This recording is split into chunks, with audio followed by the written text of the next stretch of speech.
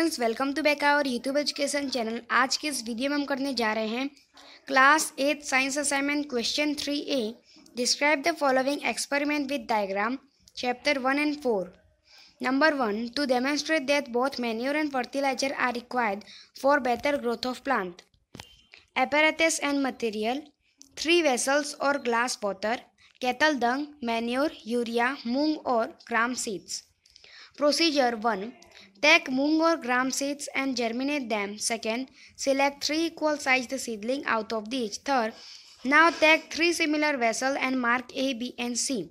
4. Add a little amount of the soil mixed with a little cow dung.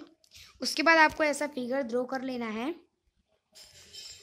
manure in vessel A five number put the same amount of the soil mixed with a little urea in vessel B 6. Stack the same amount of the soil in vessel C without adding anything.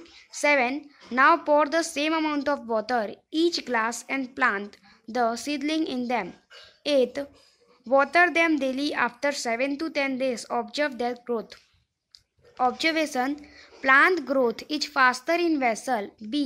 Plant growth is better in vessel A, but in vessel C, plant growth is slowest.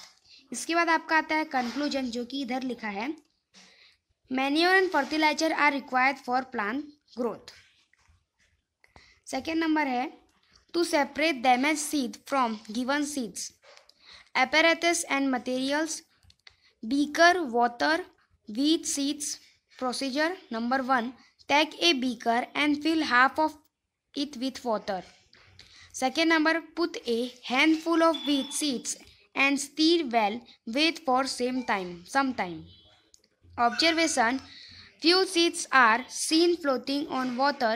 Conclusion: damage the seed become hollow and are lighter, therefore they float on water.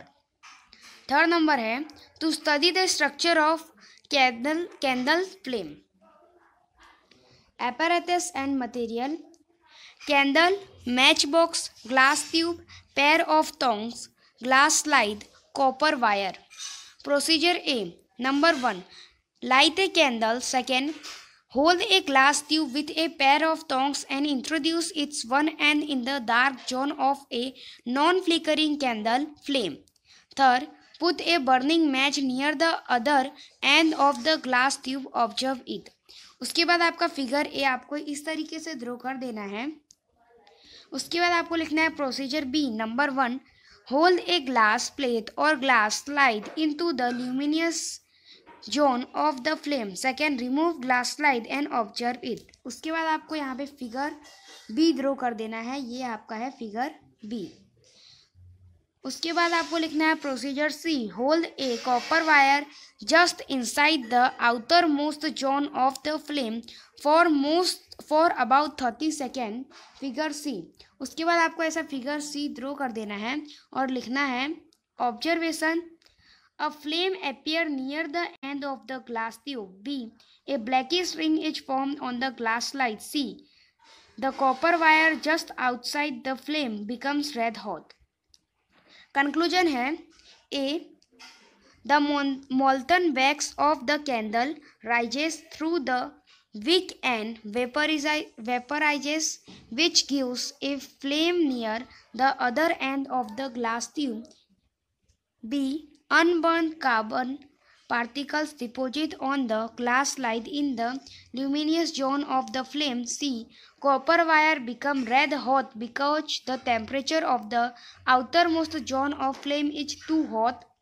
4 number to show that air is necessary for combustion apparatus and material candle matchbox wooden block table glass slide glass chimney उसके बाद आपको figure draw करना है ऐसा और नीचे लिखना है figure air is necessary in the process of combustion procedure है number one fix a candle on a table and put a glass chimney over it Reset the candle on a few wooden blocks such that air can enter the chimney.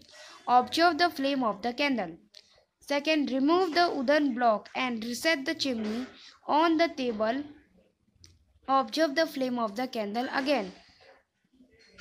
5 number put a glass plate over the chimney and observe the flame. Observation number 1 the candle burns freely. Number 2. The flame of the candle flickers and produces smoke. Number 3. The flame of the candle is put off. Conclusion Air is necessary for the process of combustion to take place. 5 number to show that for burning of a substance the temperature of the substance should reach its ignition temperature apparatus and material candle water paper cup उसके बाद आपको ऐसा figure draw करना है A to heat the paper with water B to heat the empty water paper cup procedure number one pour about fifty M L of water in one of the cup and keep other cup empty second heat both the cup separately with a candle and observe them observation number one the empty paper cup starts burning Second, the paper cup filled with water does not burn. Water in it will become hot. Conclusion By heating the paper cup filled with water will absorb the heat. The ignition temperature of paper is